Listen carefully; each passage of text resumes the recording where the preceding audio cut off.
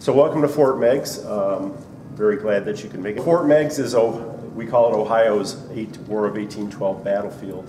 I like to call it Ohio's most significant War of 1812 battlefield because there were some other activities elsewhere in Ohio during the war. Um, just to orient you to the site, uh, we have obviously the museum and gift shop, bookstore here. Uh, if you haven't seen it just inside the glass doors, there's a very good video that will further orient you to the, We haven't yet. the War of 1812 and Fort Meigs' role here. And down the hall here is a really superb museum. If, if you haven't been in there yet, I really encourage you to see it. It's top notch. Um, I'm a history buff, obviously, and I've been to a lot of historical sites uh, whose museums don't compare nearly as well with this one. Um, so why is Fort Meigs here? Well, to give you a little deeper background, uh, the British and French were at war, the Napoleonic Wars, in the early part of, uh, like from about 1803 on. Uh, one of the reasons that the United States went to war with Britain was during the Napoleonic War, we were delivering supplies and goods to both the French and the British. Neither side appreciated that.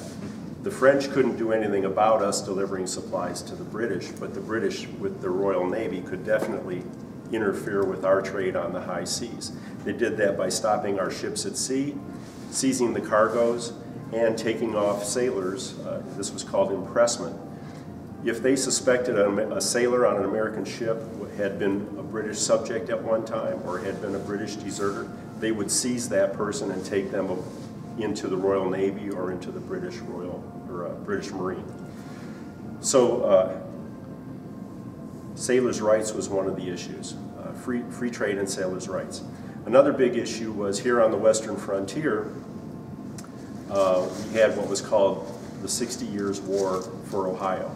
Starting in about 1750 with the French and Indian War, um, Native Americans in this area tried to resist American settlement coming from east of the Appalachians into this area and also north of the Ohio River. Uh, the war went on through a number of conflicts. We have another battlefield just up the river, uh, on the other side of the river. Uh, the Battle of Fallen Timbers was fought in 1792. It was a very significant battle. Unfortunately, a lot of people don't know about it. But that was part of the Northwest Indian Wars. In any event, we had 60 years of conflict between American settlers and Native Americans. In the early part of the uh, 19th century, this period we're talking about, the British were providing trade goods, muskets, gunpowder to the Indians. They weren't specifically inciting the Indians to fight American settlers, but they were facilitating it uh, by providing trade goods, weapons, gunpowder, scalping knives, tomahawks, etc. And uh, this was a, a, source of great irritation, obviously, to the Americans when the Indians would attack their settlements, kill their people. Um, so we had that issue. Also, there was a large contingent in Congress called the Warhawks. These were Western congressmen who were interested in expanding into this area because of the opportunities for land speculation, a lot of money to be made on land speculation. So those congressmen were, in, were supportive of a declaration of war against Britain. In any event, in July 1st of 1812, uh, President Madison asked for a declaration of war. It was approved by Congress on July 18th of 1812. Because of communications difficulties, the British forces in Upper Canada, which is now Ontario, learned about the war before our forces did here in Ohio and Michigan. And early in July, uh, Fort Mackinac was taken by the British. The American troops there didn't even know war had been declared. Uh, shortly after that, uh, Fort Dearborn in what is now Chicago was taken uh, by the Native Americans, burned to the ground, and the garrison was massacred when they were marched out.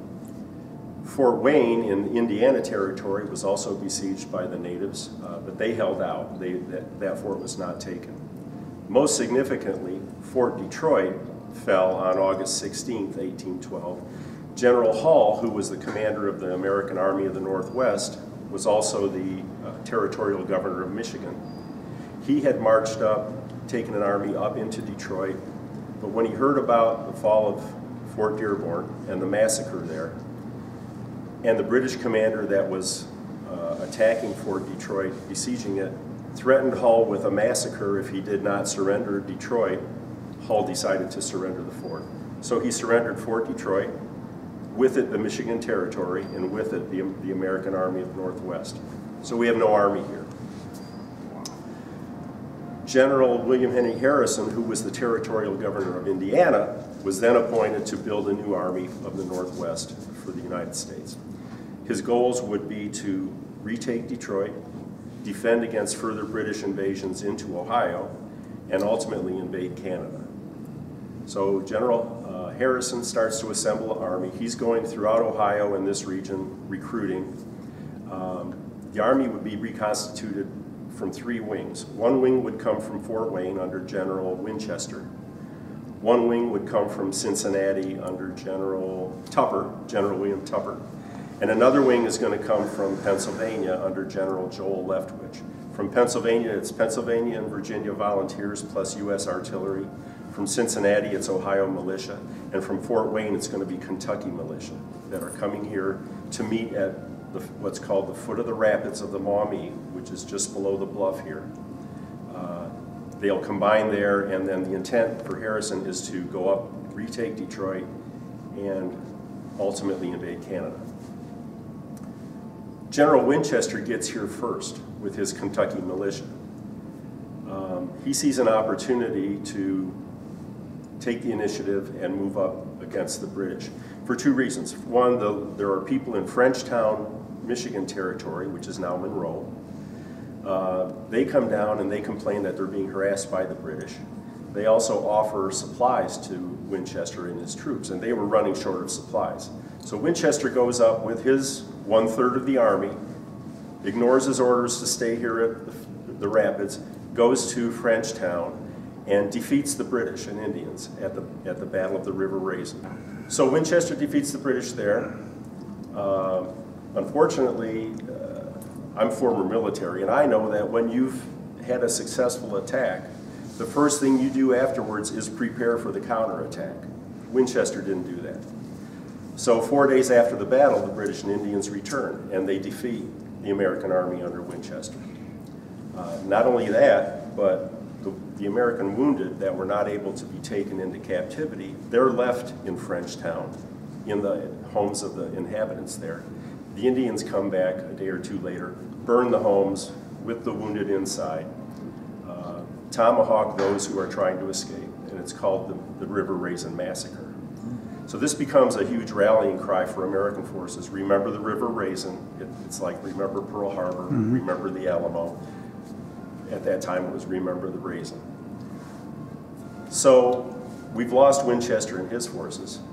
Leftwich and uh, Tupper arrive here and now that uh, Harrison's forces are reduced, he decides to build a, a fortification here at the foot of the rapids um, so he can reconstitute his forces, build supplies for the invasion of Canada, and basically uh, get prepared to carry on the war in, in an aggressive manner. Uh, why here? The foot of the rapids of the Maumee, it's the first place on the Maumee River where people could actually ford by wagons or horses or actually walking across. Uh, at times it's shallow enough here at the rapids you can walk across the river. But the Maumee was a great barrier from anyone coming from the north into Ohio. And this is the first place where the barrier was not quite so significant. So it was chosen for that reason. Also, there were military roads right here. Because of that ford, General Hull on his way to Detroit and Harrison on his way here had built military roads through what was called the Great Black Swamp. Most of northwestern Ohio at that time was called the Great Black Swamp. It was uh, all forests and wetlands and swampy ground, very difficult to traverse.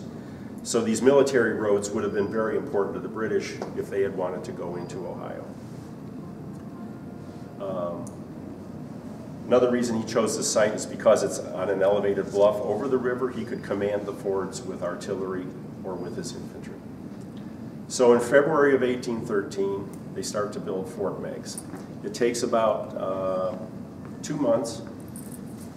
The construction is in fits and starts. Uh, Harrison leaves for a while, leaves construction in charge of General Leftwich.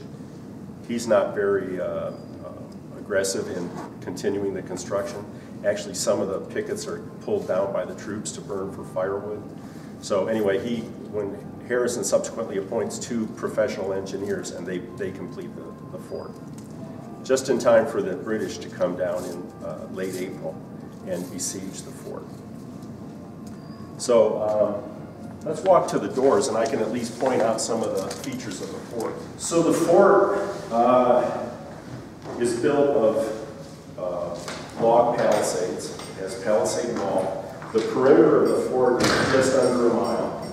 It's the largest reconstructed wooden wall fortification in America right now. And it's very accurately reconstructed. Some of the features, like this gate, are within three inches of where the original part of the structure stood.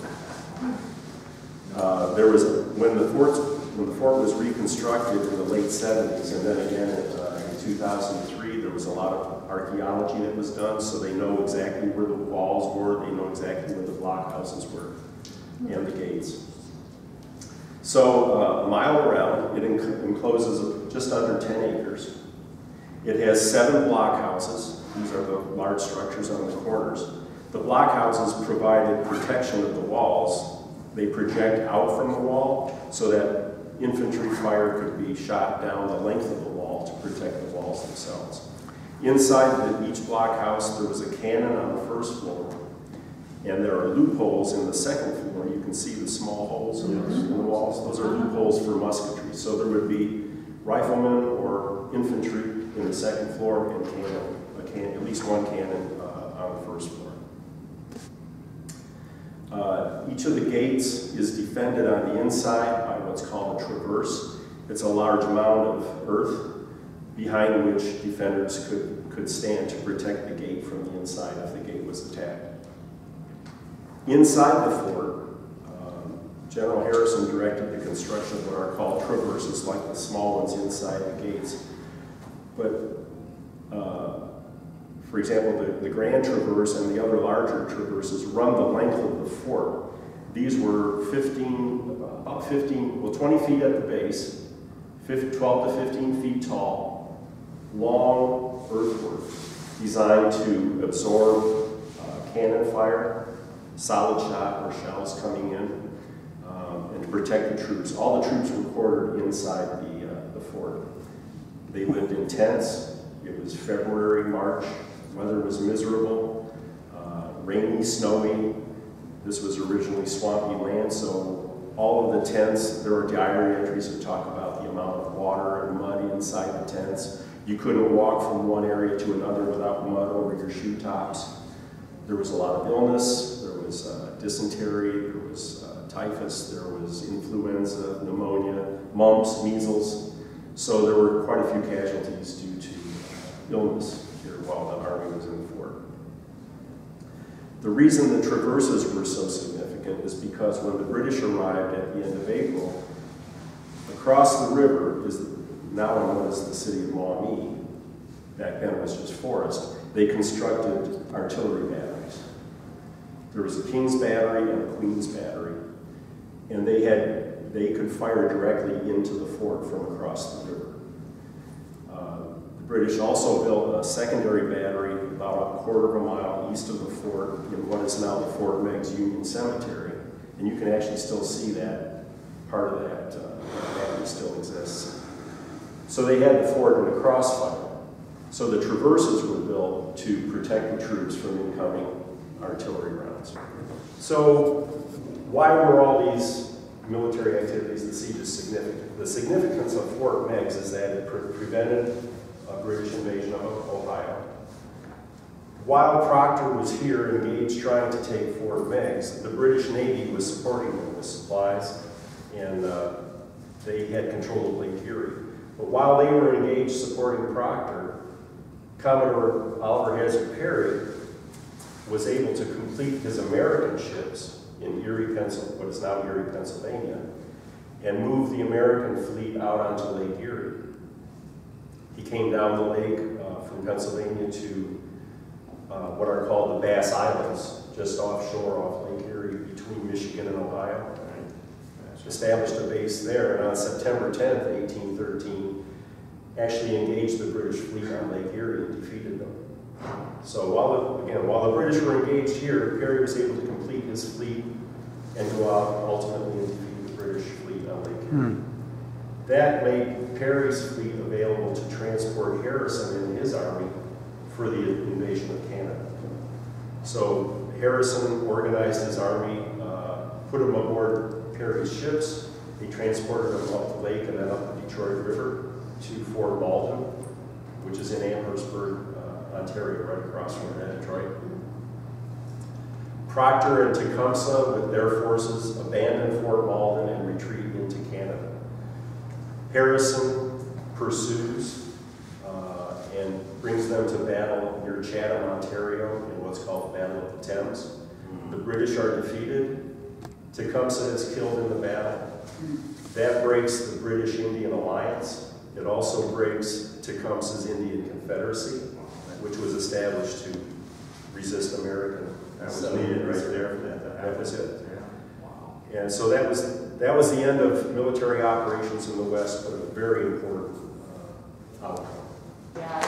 I am dressed as a private in the 2nd U.S. Artillery, which was present here at Fort Meigs, uh, arriving in February 1813 and during the sieges here. There was a great deal of action here. First siege began in late April, uh, the 1st of May, 1813, uh, and action took place for five days, uh, and then we had a cooling off period. There was a second siege in late July 1813, and this was really the turning point in the war here in the Old Northwest.